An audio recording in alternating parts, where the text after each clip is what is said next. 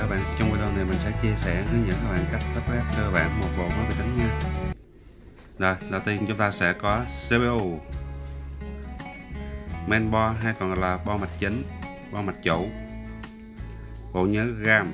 Đây mình RAM 4 8GB bus 2 666 ổ cứng SSD ổ cứng ờ, uh, HDD nha các bạn. Rồi đây là nguồn gọi là power và cuối cùng đó là vỏ thùng máy vi tính chứa nguyên cái đống đó ha. Ok bây giờ chúng ta sẽ tiến hành lắp ráp nào. Đây thì có cáp cáp SATA ha. Cáp SATA đây là cáp SATA. Là đây là miếng phe men à, miếng sắt men ha. User guide hướng dẫn sử dụng lắp ráp cơ bản. Các bạn nhớ xem trước khi dùng. Là đây là main board chỗ này là chỗ lắp con CPU nha các bạn.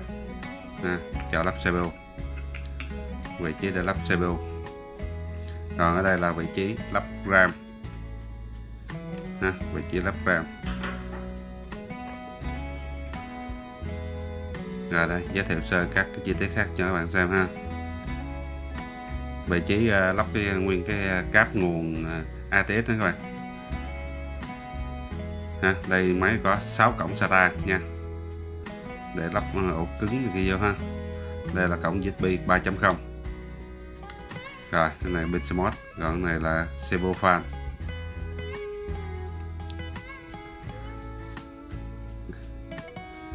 Rồi ngay này là nguồn ATX 12V của CPU ha. Rồi cái fan system nữa ha. Fan system là các bạn cắm thêm trên thùng CPU có máy fan đó còn đây là cổng à, M2 Wi-Fi ha các bạn? Và bên đầu còn lại là M2 à, cho SSD nè các bạn? Bạn phân biệt ha. Đây, một bên là Wi-Fi và một bên là dành cho SSD đây cổng PCI ừ, cổng PCI rồi, đây là cổng Vega. Rồi, có mấy cái cổng này ha. Audio, rồi à, cổng cơm rồi cổng là BT ha các bạn các bạn xem ha. Cổng USB 2 USB 1 system fan 3 nha các bạn. Các bạn xem kỹ ha. Trong có cái à, quyển hướng dẫn sử dụng á. Còn ngay chỗ này là cái chỗ cái, cái cắm à, mấy cái à, của cổ nguồn nè nút nguồn nè nút reset nè đèn power ha HDD led nha các bạn. Power led và HDD led ha. Có cộng trừ á. Thì tùy theo cái vỏ thùng CPU các bạn á các bạn xem đúng vị trí ha. Đây các bạn thấy chi tiết rất là rõ ràng. Còn ở chỗ này là speaker ha. Power led ha. các bạn thí dụ tùy theo cái khay của các bạn á, cái vỏ thùng máy vi tính của các bạn á, các bạn xem kỹ. Còn đây là cổng à, Vega nè cổng DVI nè cổng cơm cho phím chuột ha có hai màu xanh màu tím. Rồi hai cổng USB màu đen là của USB 2.0 USB màu xanh nó à, dương là của à, USB 3.0 ha cổng display board, mình đang chỉ ha. Cổng ờ, HDMI dạ có luôn cái cổng Type C nha các bạn. Cổng Type C ha. Đây, hai hai cái màu đen này nè, là 2.0 màu xanh dương là 3.0 nha các bạn. Rồi, cổng audio ha. Cổng này, cổng len. Ok các bạn ha. Và đây là con CPU đây, mình gáp cái bộ máy này là coi i5 nha các bạn. 9.4 ha. Rồi, bây giờ thì mình sẽ khui nó ra. Cắt ra ha đồ zin thì nó mới có cái mặt Intel nó chữ như thế này các bạn. Hàng bóc ha servo hàng bóc. Đây. System fan fan servo lọc ra. Lọc ra đồ zin thì cái keo trên ờ, cái ờ, tản nhiệt đó các bạn nhìn thấy ha. Rất là ok. Rồi, bây giờ mình lắp vô thì ờ, các bạn xoay cái vị trí như thế nào á. Cho nó hợp lý nha, để cho cái dắt nguồn của fan nó cắm lên men. Còn ngay chỗ này thì bạn xoay theo mũi tên là mở ra. Ha còn khi giờ mình mình gắn vô trong cái fan này thì xoay gì này để gắn vô nha các bạn. Rồi bây giờ mình bật cái này lên ha để lắp vô CPU vô trước. Rồi lắp CPU vô. Thì các bạn nhìn thấy ha góc trái ở phía trên của cái ờ, khai lắp CPU á nó có một cái ờ, đỉnh tam giác. Để các bạn tháo CPU ra nè. Các bạn nhìn thấy ha đây ngay góc tam giác này. Thì tương ứng vị trí trên cái con CPU á nó cũng có cái, cái hình tam giác ha. Theo cái uh, hình tam giác nha các bạn. Mình để cho bạn xem ha. Rồi tương ứng là bên vị trí của à, mình chỉ nè ha. Có hai cái khe CPU nào cũng vậy. Thì hai khe tương ứng hai cái uh, hai cái khớp ở trên của cái khai chứa CPU các bạn đặt lên đúng vị trí là nó lọt vô khớp nha các bạn rồi sau khi lắp xong chúng ta sẽ đậy nắp lại. Kéo này lên ha cho nó gài xuống. Các bạn thấy ha cho cái này nó gài xuống phía dưới. Đây rồi gài xuống chúng ta sẽ gài cái, cái cần gạt này lại để qua gài xuống. Thì cái nắp nhựa tự động nó rớt ra ngoài nha các bạn. Ok ha. Cái nắp nhựa này các bạn ờ, lát làm xong chúng ta sẽ bỏ vô thùng CPU ha. Để nhìn lỡ mà comment có lỗi thì đem bảo hành có cái đậy lại. Rồi bây giờ chúng ta sẽ lắp các bạn thấy ha, bốn lỗ trên men tương ứng với bốn cái chốt của cố định của cái fan CPU ha, chúng ta sẽ đẩy theo từng cặp, từng chéo nha các bạn. Đây, từng cặp ha. Ấn đều lực ha. Nhẹ tay, mềm tay thôi, chứ không cần mạnh lắm đâu. Rồi, đẩy xuống. Đẩy xuống xong rồi các bạn sẽ quay đầu anh kia kiểm tra. Nếu mà nó ló qua cái chốt ở giữa mà nó gài qua đẩy qua các bạn thấy như thế này nè, là ok ha. Còn trường hợp các bạn đẩy vô chưa, nó chưa có xuyên qua luôn thì các bạn kiểm tra lại. Rồi xong, chúng ta sẽ gắn cái à, dây nguồn cho cái fan ha, fan CPU nó có khe, nó có khớp nha các bạn. Lắp vào ha. Ok. Rồi, bây giờ sẽ tới bộ nhớ ram rồi, chúng ta sẽ lắp ram vào ha. Thì à, trên thanh ram có cái khe các bạn bạn xem cái vị trí tương ứng trên cái khay chứa ram ha. Bạn sẽ không thể nào lật ngược được, quay đầu ngược được lắc vào không được nha các bạn. Rồi, cái khe chúng ta sẽ gài vào. Nhấn đều là hai bên xuống ha. Ok các bạn. Các bạn muốn tháo ra thì bật lên lại ha, hai bên. Gạt lên cái bật lên. Ok ha. Rồi, bây giờ chúng ta sắp lắp lại. Đè xuống, đều lực ok. Như vậy là đã lắp xong phần ram nha các bạn rồi bây giờ sẽ tới cái thùng vỏ thùng máy ha. Chúng ta sẽ khui vỏ thùng máy ra. Thì uh, trên vỏ thùng máy chúng ta khi mà khui ra thì uh, nó có mấy cái uh, con ốc mà để cố định men này kia đó. Thì chúng ta sẽ lắp tương ứng vị trí trên cái men ha cho nó khớp vị trí với cái trên men và cái cái vỏ thùng máy. Cái này có luôn cả cái lo ha speaker ha. Rồi bạn thấy ha? USB audio. À, và mấy cái mà mình mình nói là power switch, reset switch và power led với HD led. Nó sẽ có cộng trừ ha các bạn?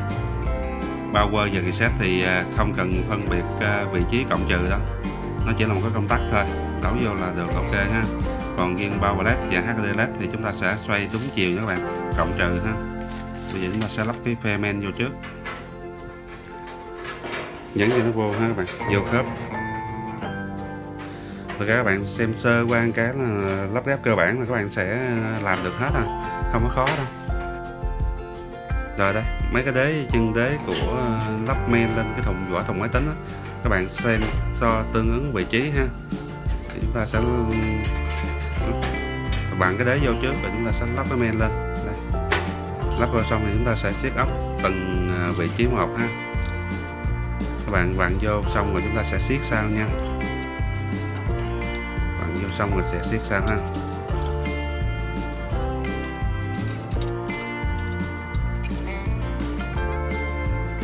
Rồi, tiếp theo sẽ lắp cái ờ, bộ nguồn máy tính vào. Thì ờ, và cái nguồn máy tính này cũng vậy, nó sẽ có cái ờ, cái fan ha. Cái fan thì các bạn sẽ cho nó xoay hướng dưới. Ví dụ trường hợp cái nguồn mình lắp lên trên ha. Rồi cái fan sẽ quay xuống hướng dưới để lấy gió. Rồi, ok các bạn ha siết rồi rồi, cái dắt nguồn chính của nguồn ATS này ha, chúng ta sẽ cắm lên men đây.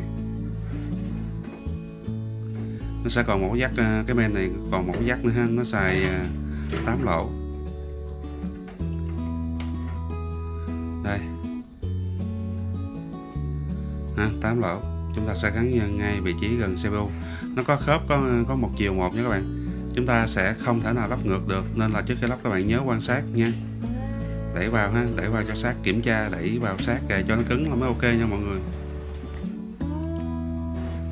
Rồi, sau khi lắp hai cái phần này xong, chúng ta sẽ, các bạn nhớ kéo dây nguồn lại cho nó gọn lại ha và đây là của Powerlet và HDDLED thì chúng ta sẽ lắp theo đúng vị trí ha, cộng trừ nha các bạn.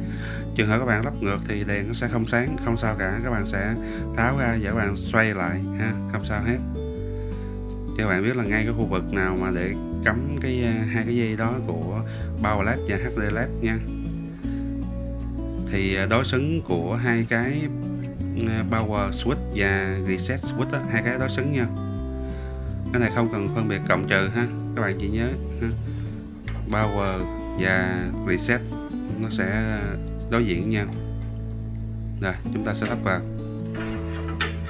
Rồi, tiếp theo sẽ là cái ờ, của phần speaker. Speaker lắp vô để máy khi khởi động nó có tiếng kêu gì đó, để chúng ta dễ dàng biết là máy có hoạt động hay không, hay là có lỗi ram gì hay không. Lỗi ram thường kia biết liên tục, ha, mọi người, để lắp lo để mình biết máy hoạt động hay là có lỗi gì đó.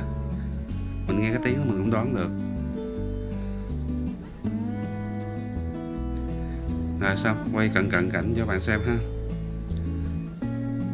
Tại zoom to quá thì điện thoại điện thoại của mình nó quay nó không được rõ nha mọi người. Mọi người thông cảm ha. Rồi, cái này nó lo. Ok, cảm ơn cái thùng này mình lắp ráp là một cái thùng cũng rẻ tiền nha các bạn. Nên là nó không có nhiều nút lắm còn cái phần này là hai cái dây của audio và USB à, chúng ta cái canh đúng cái vị trí của ờ, từng cái cổng là chúng ta sẽ cắm được à. Không cắm ngược được nha các bạn. Đây là USB ha. USB rồi chúng ta sẽ cắm vào cái ờ, cái jack USB trên main. Và cái audio trên main nữa là xong. Phía sau này là của audio ha. Các bạn nhớ xem cái à, user guide á. Trước khi các bạn lắp á, thì à, nó sẽ dễ dàng hơn ha, chính xác ha. Hướng dẫn sử dụng, rất là chi tiết. Trong cái sổ mà nó đi kèm cái men đó các bạn, còn đây là ổ SSD cái bộ máy này mình lắp ráp nó SSD 500GB cho các bạn Spartan ha. Đây, có cái miếng à, màu vàng ha, lát chúng ta lắp rồi chúng ta sẽ lắp nó ra đây, lột cái nắp này, cái miếng vàng ra ha. Miếng bảo vệ ha, lột ra. Rồi, bây giờ lắp SSD lên ha. Mấy cái thùng máy khay giờ là SSD lắp thẳng lên luôn ha, không cần phải khay nữa. Rồi, lắp ráp lại xong thùng. Rồi, chúng ta sẽ siết ốc lại ha.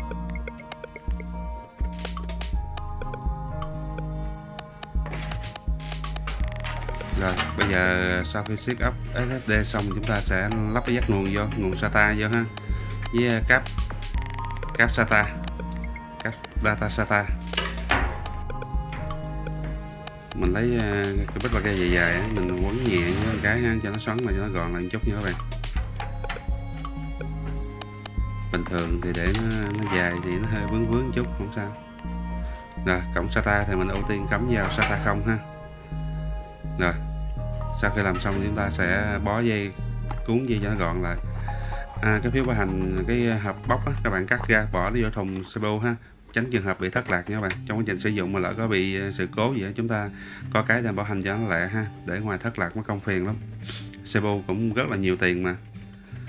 Ok như vậy là mình đã đây miếng này mình bỏ vô trong ờ, lại thùng máy luôn ha. Có sự cố gì bảo hành thì có cái đậy ờ, cái CPU lại như vậy là mình đã lắp ráp xong một cái à, bộ máy vi tính.